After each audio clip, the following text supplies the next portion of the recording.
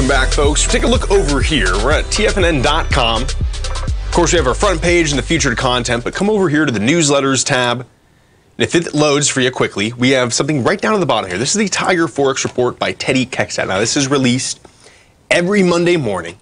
It is great. If you're trying to get into Forex, if you're trying to get into, let's just even say currency pairings, whatever it is, this is the one for you. He goes over certain commodities as well. And I want to say, too, if you run over to that services tab, we have two options for you. This is Capitalize on Time with Calendar Stock Option Spreads by Teddy Kekstadt. Very informative. And if you're just getting into trading or you're just not really sure what the heck a Japanese candlestick pattern is, which, you know, so many traders use and is honestly pretty fundamental in trading, this is the webinar for you. We are, I mean, it's 79 or 97 bucks, guys. Like, this is a great deal for you. Uh, Teddy comes on every Thursday to the morning market kickoff, and we love hearing from him. Teddy, how are you doing today? I'm doing well. We got a sunny day in Chicagoland. There you go. I think we got some of your weather because it's a little bit cloudy and windy, so not so bad here.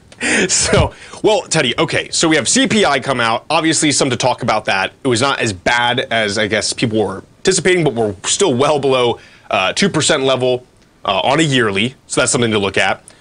Oil is kind of coming back down. Crude oil, we're about 76.95 right now, and then you have OPEC voting on what they're going to do in June. Uh, I'm curious to hear kind of what your insights on this are.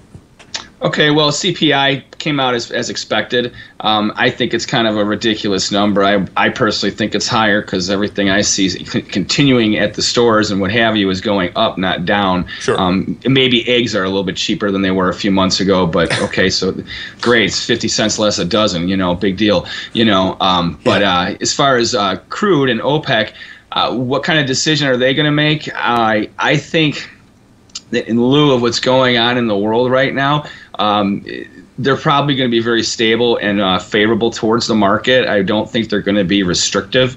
I would find uh, be very surprised if they become very restrictive.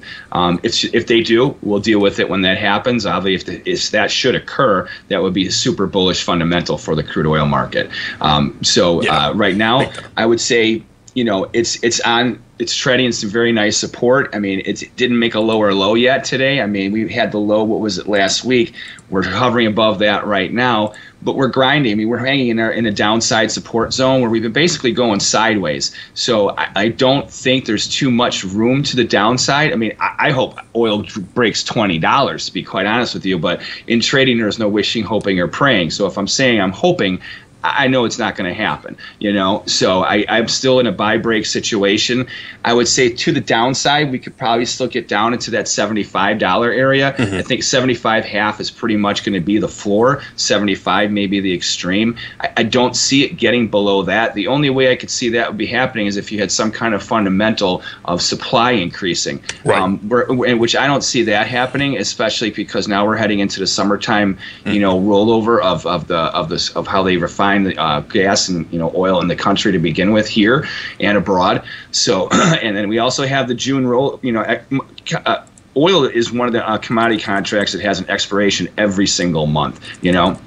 So, yes. and I would be very careful with the way the spreads between the May and June contracts go in towards expiration, especially with between the options and futures, because we're coming when we come into that area of the end of the quarter, as well as um, financial and commodity expirations, the spreads t- typically tend to move a lot, which mean now for people who don't understand spreads and, and commodity contracts and expirations, um, I'm not going to make it really difficult for you. But as far as the pricing mechanism is concerned, that should keep it pretty stable right now. There's no reason for any long term. Um, heavy bullishness, if you will. You know, so unless right. you see those spreads start to all of a sudden expand over the next week or so, you know, or especially going into uh, uh, the beginning of June, in that case, then I would say that we're probably going to see a, um, a bottoming for sure in crude, and then see I would expect a big rally. Until then, I think you're going to chop around where you're at if we touch down to 75, I don't see us hanging there for very long. I see us more about pretty much where we're at now, around 77 to 80 dollars, hanging in that range at least for the next week or so. Still, so it's going to be a tough trade. I, I would be, yeah. Wait, I would wait for a signal that you, if you want to buy this market, wait for a solid buy signal. And as far as selling it, I'd be very, very cautious right now. As far as being a seller, I'd be very nimble, and I wouldn't want to keep your expectations very tight. Yeah, absolutely. And you know, this is something I'm I'm trying to look to get into as well, right? I'll use some kind of like leveraged ETF for it, but I'm seeing it out here. Obviously, the fundamentals are at work as well. Again, we've spoken about Mexico, you know, decreasing their exports of it, although that's not such a major portion. Um, but then also summertime, so it's actually kind of surprising to me that maybe we're this low, but um, you know, still learning a lot about crude oil as well. And that's why I think it's going to spike if it continues to go right. lower. I, I, would not get married to a short down there. I'd be careful selling it in the hole, you yeah. know, and getting caught. You Big know? time. Big time. Well, the other question I have for you as well, obviously we've spoken about yen, I think, the past two times, but Bank of America came out and said, this is what they said, it would take uh, global risk for U.S. to step into buoy yen. So the sell, okay. said the sell off in Japanese currency this year sent the yen breach $160. And Bank of America said this is actually like super undervalued by any reasonable measure. So I'm curious to hear kind of what you think their point in doing this is, and then what the win side is for Bank of America if they decide to do something like this. Okay, you know, I, have only read it, read a little bit about what you're talking about, so I don't know all of the details as far as what they may or may not sure. be doing with this. Um, I think that when it comes to a bank talking about something like that, um, no one moves the market or controls the market. Even the Federal Reserve and central banks don't. They're only fundamental influences for a moment.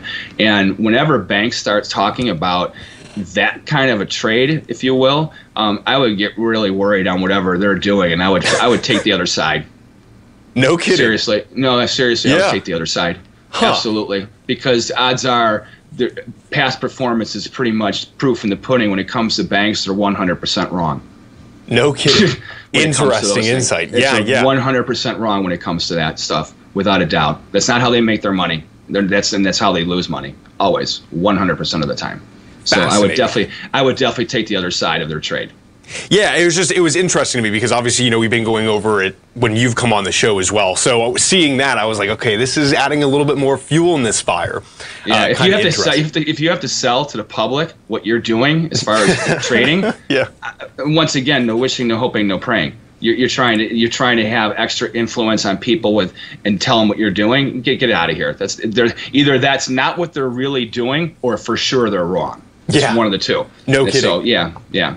Well, I'll definitely. I'm going to look some more into this as well because I'm just curious of again, you know, why they want to get in this and uh, what their kind of endpoint is. And then finally, I guess we can talk a little bit if you want to, just the dollar in general, right? Looking at the DXY, sure. we've moved down a little bit. We were hovering. We are honestly kind of moving sideways in that 105 area.